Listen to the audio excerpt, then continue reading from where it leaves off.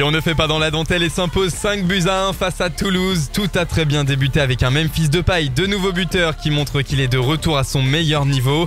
Bien sûr, Lyon a joué à se faire peur pendant quelques minutes et Toulouse a égalisé à la suite d'une erreur de Ferland Mendy. Mais voilà, Lyon était dans un grand soir et la chance a souri à Bertrand Traoré sur un centre-tir pour le 2 buts à 1. Le 3-1 n'a pas mis longtemps à arriver grâce à Nabil Fekir sur son quatrième penalty de la saison. En seconde période, c'est le dernier attaquant du système Moussa Dembélé qui s'est offert un doublé et a parachevé la victoire lyonnaise. La grande satisfaction de l'après-midi outre la victoire, c'est l'ampleur du score. En effet, en gagnant par 4 buts d'écart, l'OL soigne son goal à verrage, un élément qui sera peut-être décisif dans cette fin de saison. Les attaquants parfois critiqués pour leur manque de réalisme ont montré tout leur talent face à une équipe qui se présentait pourtant avec un bloc bas. Seul petit regret de la rencontre ne pas avoir vu Papé Tchèque pourtant bien en jambes en Coupe de France. Mais il faut dire que Lucas Touzard et Tanguy Ndombele ont été tous les deux très appliqués.